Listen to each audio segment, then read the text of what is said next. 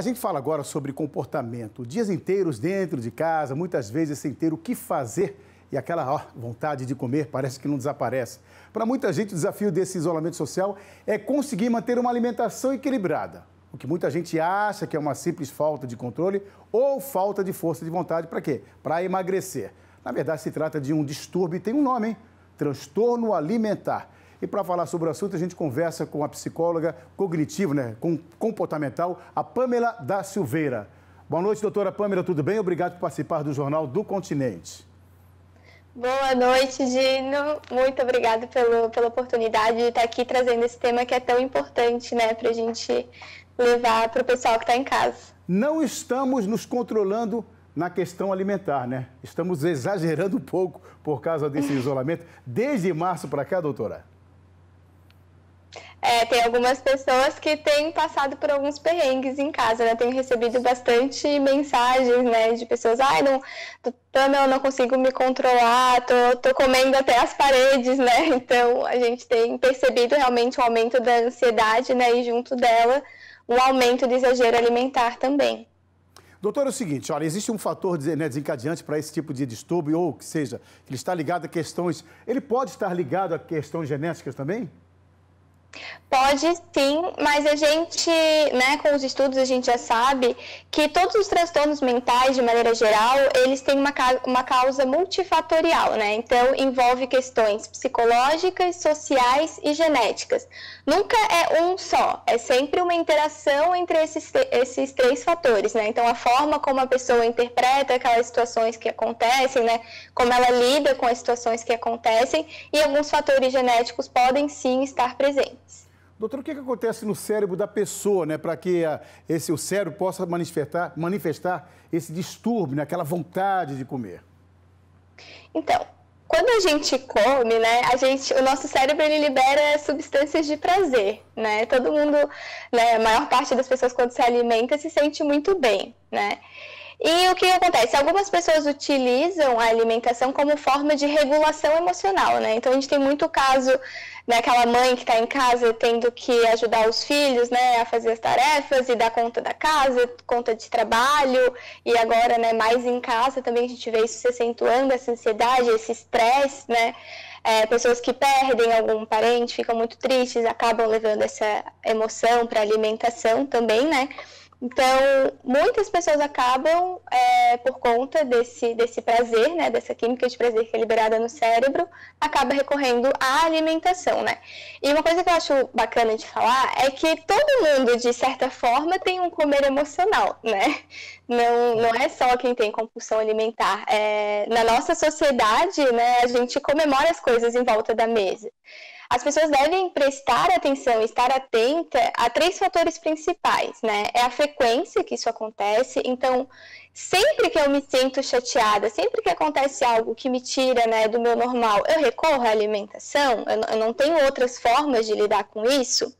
A intensidade que isso acontece, né? Quanto que eu como, eu como realmente uma quantidade muito exagerada, algo que eu não, né, não comeria normalmente, e mais um fator que é bem, bem que as pessoas têm que olhar, que é a culpa, né? Muitas pessoas relatam após episódios de compulsão, de exagero alimentar, uma culpa muito grande, uma vergonha, né, daquilo que acabou acontecer. E acabam se isolando muitas vezes, né, se afastando da família, com medo às vezes de comer na frente de outras pessoas, né, com, com medo de se controlar, né? Então, acho que esses são os três principais fatores para quem está em casa prestar bastante atenção, né, para ver como que está o, o, seu comportamento na sua relação com a comida. Agora, o fator psicológico, né, doutora, também afetou as pessoas, né, de março para cá. Né? Não existe um alimento específico. O que vê pela frente, a pessoa come. E não está mais seguindo aquela regra da saúde, comer de três em três horas. A pessoa vê um produto ali, bom, já vai comendo, né? Então não tem aquele específico, né? Por causa dessa pandemia também acaba afetando o cérebro das pessoas, né? É, não, a gente fala, não, não tem um alimento específico. A gente vê que algumas pessoas acabam recorrendo muitas vezes a carboidratos por conta dessa questão da química, né, da, da, do prazer que isso libera no cérebro, mas não existe um alimento específico, né? E cada pessoa vai ter ali a sua rotina alimentar e tudo mais. Por isso até uma dica para quem, né, tá mais em casa, para quem tá, tá tendo que lidar também com todas essas questões, às vezes a pessoa tem que sair para trabalhar, se sente ansiosa, tá com medo é tentar o máximo que conseguir manter uma rotina, organizar a sua alimentação, né? deixar tudo meio já preparado, cuidar disso, para que não acabe né, é, exagerando né, em alguns momentos, como você falou agora. Tem muita gente em casa agora acompanhando o Jornal do Continente em todo o estado de Santa Catarina e se pergunta também, doutora, tem como se tratar, tem como se fazer uma adequação dessa alimentação mais saudável, Aliás, dormir também faz bem, não adianta o cara também acordar, dormir três da manhã e também ficar né, comendo à vontade, né? Então, existe um, um tratamento. Qual a dica que a doutora pode repassar para os nossos telespectadores que ainda continuamos em isolamento social? É, isso que tu falou agora é bem importante, né? O sono, ele tá muito ligado, a gente precisa, né, descansar, tem, tem certos hormônios, coisas que a gente só, só libera à noite, né, dormindo à noite, então a gente precisa para diminuir estresse, para conseguir estar tá relaxado, para conseguir lidar com as questões do dia a dia, a gente precisa dormir bem a quantidade né, de horas necessárias. Então, mas o tratamento, né, para esse tipo de transtorno, para quem tem um comer emocional muito forte, é, pode ser feito por três profissionais principais, que são então o psiquiatra, o psicólogo e a nutricionista. Quando a gente tem a junção desses três, né, é o, o tratamento ideal mas ele é um transtorno muito comportamental, né, da relação com a pessoa com a comida. Então, como eu falei antes, ele é aquela questão da regulação emocional, né? Será que não tem outras formas de lidar com esse desconforto, né? Claro que cada um vai ser particular, né? Cada um tem o seu jeitinho, né? Cada um tem a forma como lida com isso, né? Pode ser tomando um banho quentinho, praticando exercício físico, meditação. Então, cada um vai ter a sua forma de regulação emocional.